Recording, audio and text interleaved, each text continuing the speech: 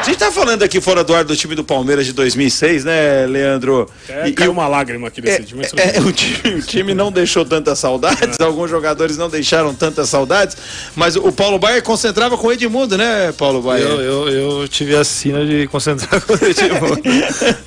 não, mas o Edmundo é meu amigo, a gente, a gente conversa ainda, mas é meio complicado, né? Não, o homem é meio. O Edmundo sempre foi meio de lua, né? É. Eu trabalhei com ele na Band também, fiz muita transmissão com ele.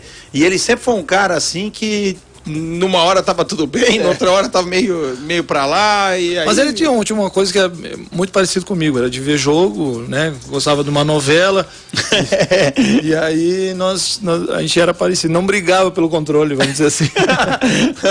é, e, e, não era aquele companheiro que queria fugir toda hora da concentração, né, não, né, Paulo? Não. Que esse que dá trabalho, né? Não, mas o Edmundo sempre foi muito profissional. Isso, Treinava então. muito, treinava muito mesmo. Cara, eu joguei com ele no Vasco e joguei com ele no Palmeiras. Ah, um cara que eu, né, tenho uma admiração muito grande, um cara bacana e que é vencedor, que queria vencer todo jogo, queria ele, ele era um cara brigador mesmo. Transamérica.